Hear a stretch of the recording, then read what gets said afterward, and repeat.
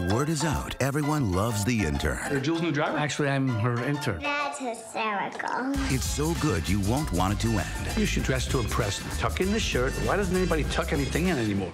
Oh, I'm asking you. It's the best comedy of the year. How have men gone from guys like Harrison Ford to Oh boy.